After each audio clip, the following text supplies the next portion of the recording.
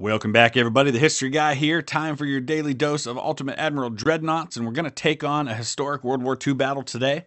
This is the Battle of Savo Island, sometimes known as the First Battle of Savo Island, also sometimes known as the First Battle of the Solomon Seas. And to men who were there, especially on the Allied side, they call it the Battle of the Five Sitting Ducks, which tells you a little bit about how this battle went for the Allies, not particularly well. We're going to use the uh, the larger ships that were involved in this, which means we won't have the 15 destroyers that the United States had on their side. Uh, we're going to take in six heavy cruisers, two light cruisers on the American side, even though they weren't all necessarily just American ships. Uh, we can only choose one nation. So, uh, five heavy cruisers, two light cruisers on the Japanese side.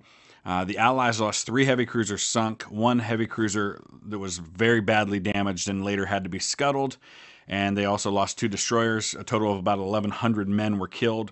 129 men killed on the Japanese side. Major defeat for the Americans. Um, however, in the long run, uh, this was a part of the larger battle for Guadalcanal, which did turn out to be a victory for the Allies. So we're going to see if we can turn that around. We're not going to do anything to design the ships. We're going to go with about 1935 technology, even though this was a battle that was fought in August of 1942. We're just going to take it in and see what happens. Uh, among the people who were involved uh, somewhat in this battle was a uh, Navy admiral named John S. McCain. Uh, he was the grandfather of the future United States Senator and American uh, presidential candidate John McCain III. Uh, John McCain, Admiral McCain, was actually in charge of all of the land based air forces at this battle.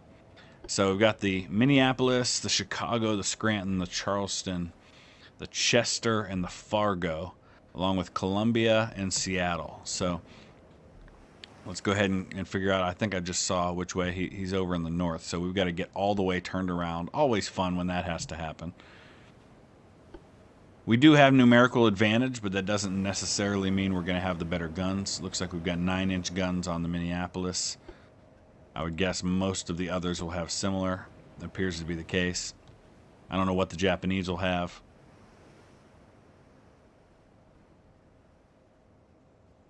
All right, looks like we're finally sighting them here.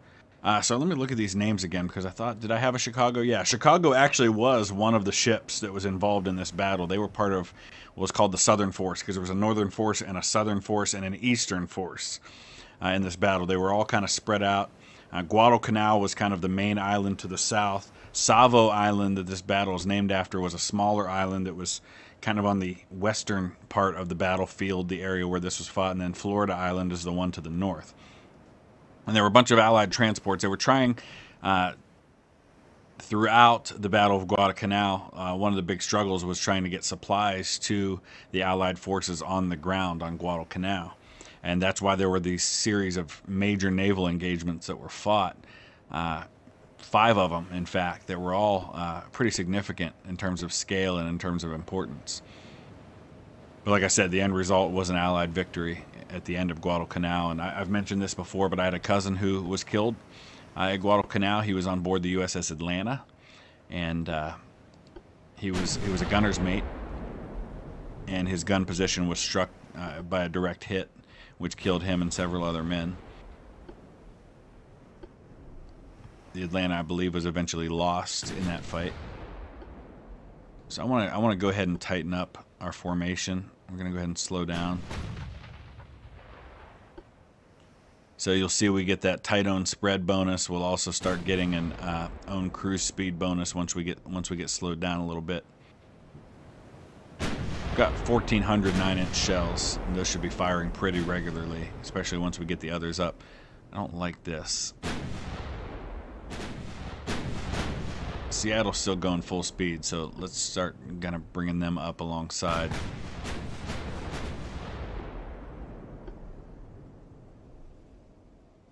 Who else is following them? Anybody? Yeah.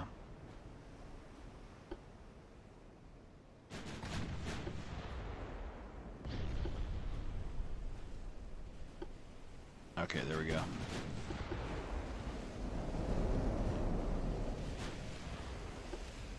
All right, we did get a nine-inch hit. He's got 11-inch guns on at least one of his ships, so that's what I was afraid of, that they would have bigger guns. We're not getting a tremendous amount of penetration. We're getting partial pen so far. I'm going to go ahead and switch over to high explosives for a little bit. Let's just see what they do. Since we are dealing with heavy cruisers. And we're not getting penetration with the APs anyway. There we go. I mean, we're not making a lot of damage, but you can still see he is taking some damage.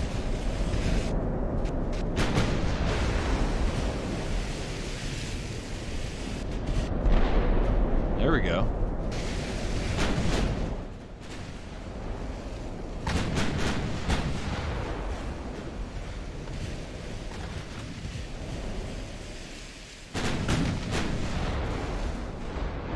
I want to get these guys up a little closer so that we've got kind of two firing lines going.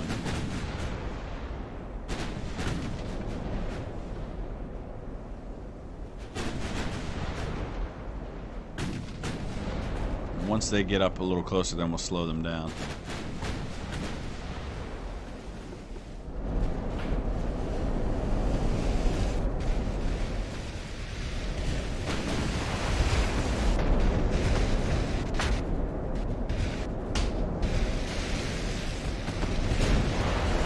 Five completely blocked.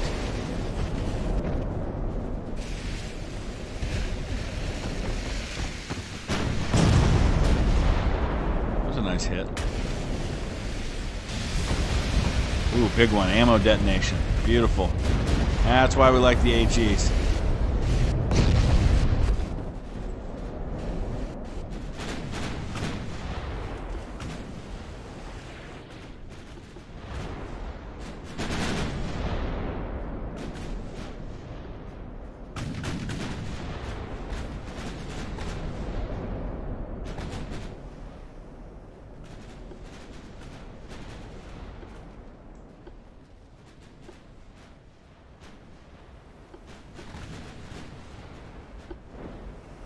Let's slow this down a little bit.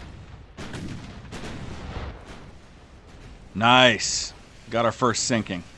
Beautiful. Now we've got a, a two ship advantage.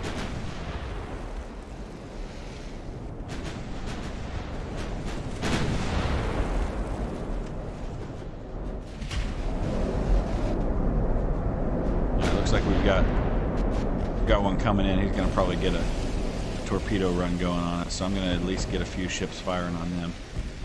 Actually, we'll get that whole, this whole group firing on him. No, I don't want you to turn toward him. I want you to shoot at him.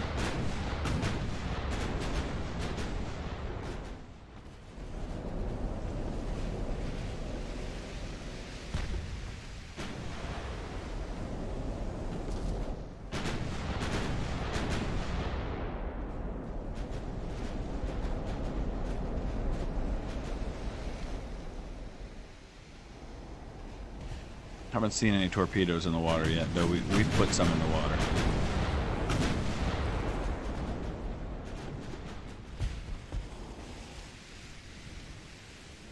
Yeah, he's coming at me. He's going to try to get some torpedoes in the water, try and take me out that way.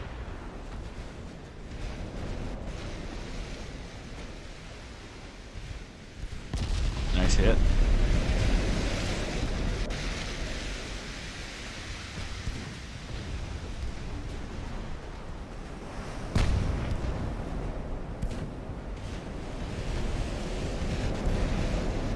Beautiful. Alright, let's see how our formation looks. Uh, we're still having trouble getting these guys caught up. Mostly because those light cruisers were set to screen so they weren't falling in behind. Just want to keep these guys kind of where they are.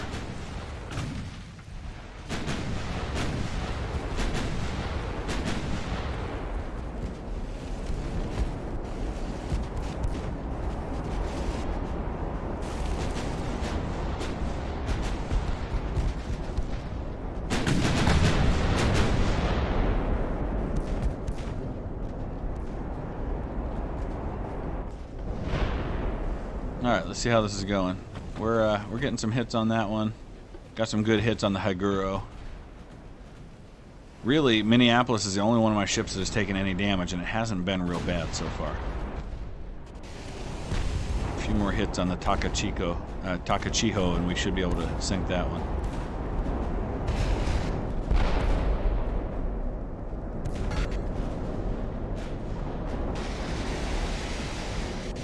Big flaming ball right now. There's another hit on Minneapolis. He does have torpedoes in the water, so let's be careful of that. I'm going to go ahead and... Oh, Minneapolis is going to drop out of the formation because of their damage. Oh, and there's a torpedo right there.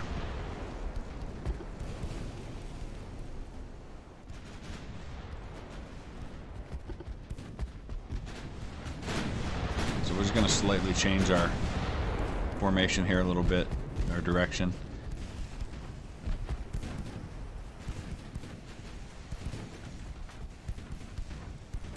Home cruise speed is getting up there now. We should probably maybe drop this a hair more.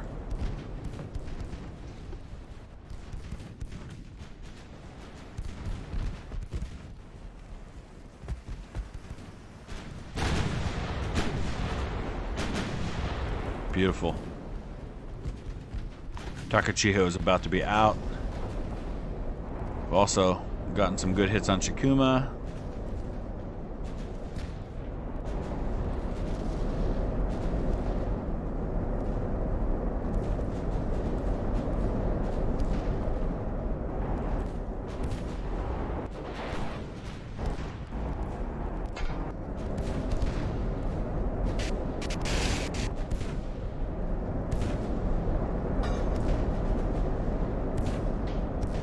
Kind of a gloomy day on the seas.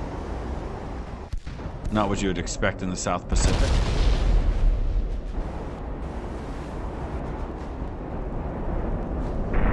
Beautiful. We'll go ahead and stick with this till we watch the sinking. Oh yeah, you know me, you know I like to watch a good sinking.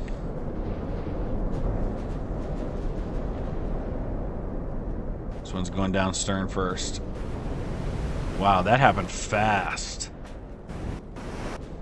That one went down real fast. There goes... Oh, we must have gotten a... Did we get a... No, I thought maybe we got a ammo detonation on Chikuma because that happened awful fast, but... It wasn't the case. Alright, I think now we can go ahead and get this group slowed down. We're just going to basically run two lines here. Although at this point we can afford to be a little more aggressive.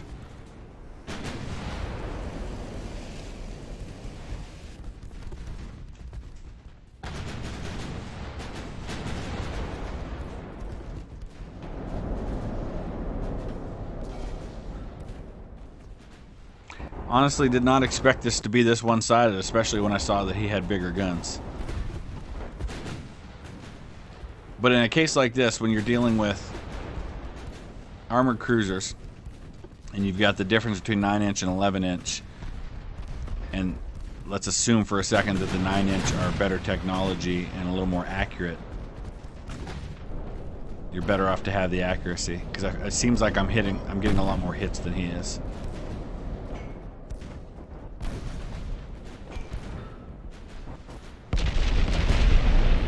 That and his AI is, looks like he's defaulting to armor piercing shells where I'm using HE and they seem to be having a nice effect.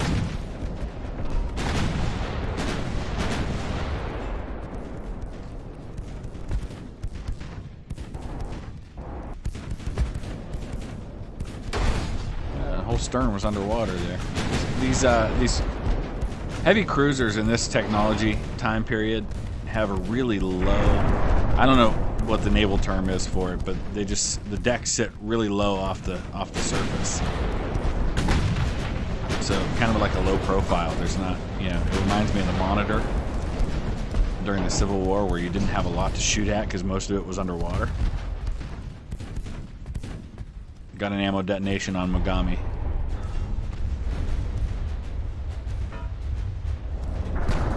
That's his last light cruiser. And then we've just got three heavy cruisers left. Two of them have taken significant damage already.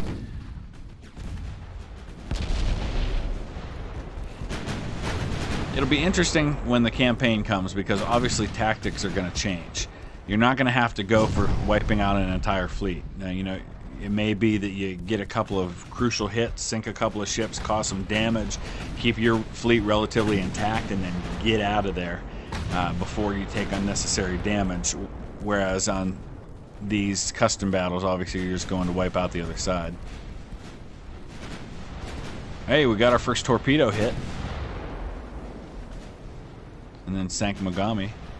Let's get over there and get a look. Probably going to sink really fast, just like the last ones did.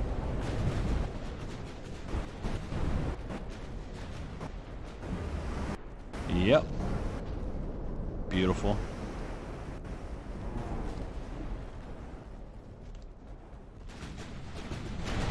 Man, I'm honestly surprised at how one-sided this battle has been. This has actually worked out pretty nicely with the uh, the formation. We've got kind of a nice staggered look here. Everybody firing broadsides. Lots of hits happening all at once.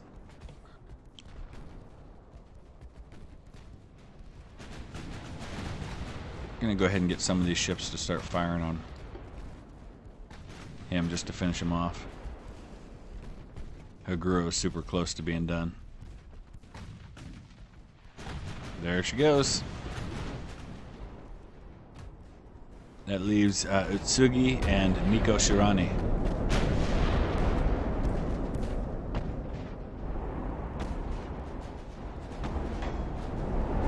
Utsugi, I don't know how they're even firing at this point, the way their guns are pointed.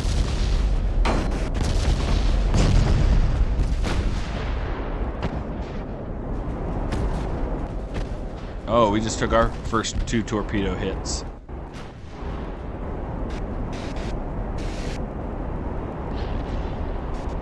But we got Utsugi in the process. That was Seattle that took those hits. That's the one problem with running my formation like this is that it gives him an easier time hitting a target because we don't have those spaces. That's okay though. Just one left.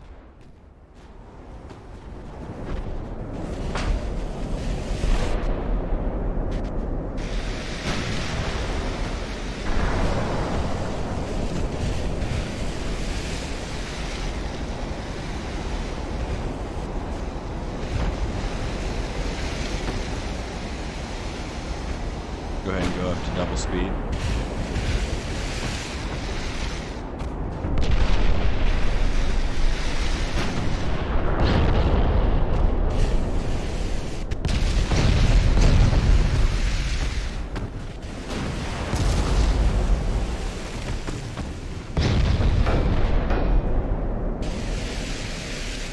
trying to get a sinking with flooding here, so maybe now's the time to go back to AP.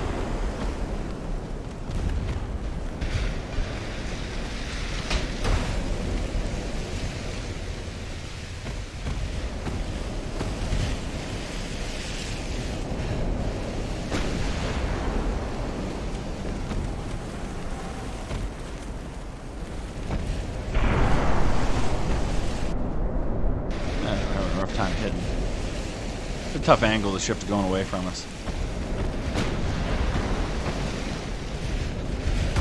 There we go.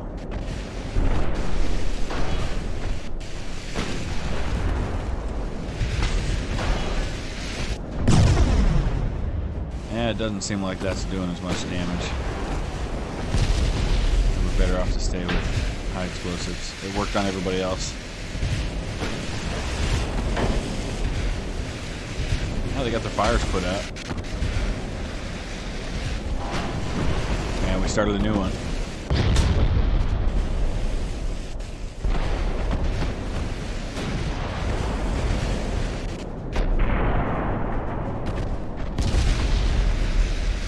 So let me know your thoughts. Let me know your requests for a battle you'd like to see. It's tricky with World War II battles because so many of them involved. Oh, there's two more torpedo hits. I'm not really paying attention to that at this point.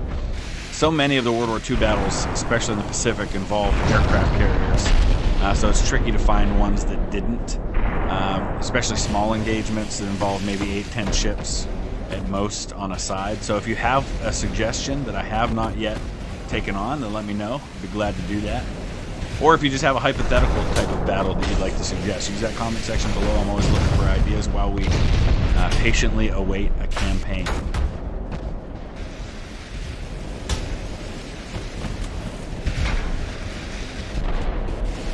Man, the last one doesn't want to die. I mean, we are getting a little more, uh, more distance now.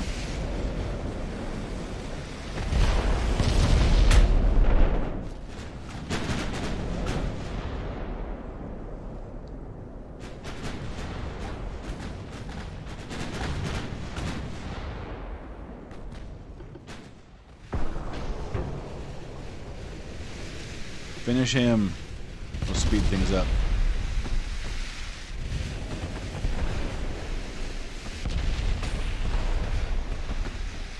Not as much pen penetration once you get at this distance.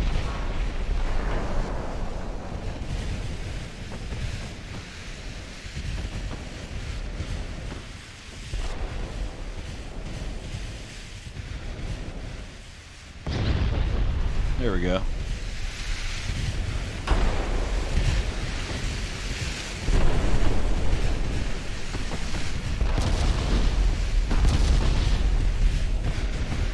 So maybe we'll switch some of them to AP.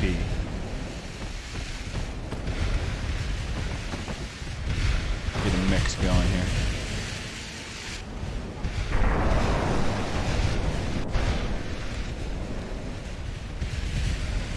Probably makes sense to just try to close the distance a little bit.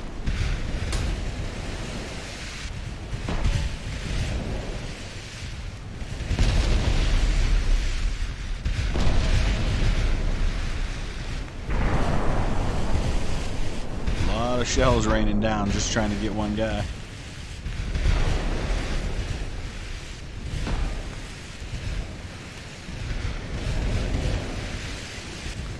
Yeah, we'll start closing the distance, see if that helps. I'm coming after you now, buddy.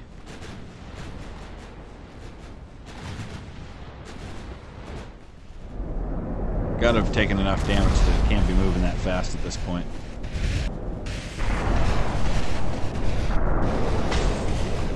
See they, they got the flooding dealt with a little bit. Pumps must be working overtime.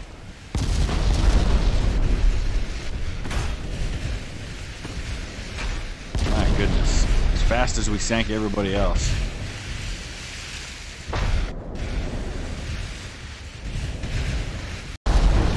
Alright, I've scored about 30 more hits since I stopped recording, and we're finally about to sink this one. There's been hit after hit, and, and closing the distance finally started getting me some better damage numbers. Just weren't getting the penetration we needed. You can see there's still, we had 216 completely blocked but a majority of them did get at least some form of penetration. Don't forget to drop a like, and if you haven't already, subscribe. Uh, those things certainly help the channel a lot, appreciate them. Looks like we're going to just about finish this guy off. I can't even believe he's really moving at this point. Let's see what the distance is. We're down to 8 kilometers. We were at about 14 when I started turning toward him. If you're new to the channel, I say him a lot. I recognize that ships, for the most part, were she or her. It's just something I do when I play these games. I call the enemy him. I just do that. I understand that that's not what you would have called a ship in most cases.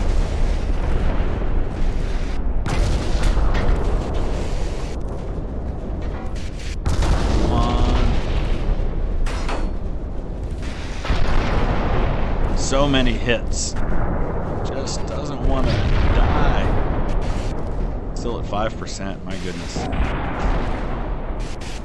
Problem is at this point, we were hitting some of the same things over and over again, so the damage is kind of redundant.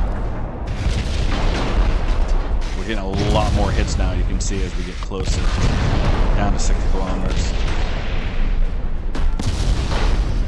Any minute. There we go. Alright, thanks for watching, guys. We'll see you again soon.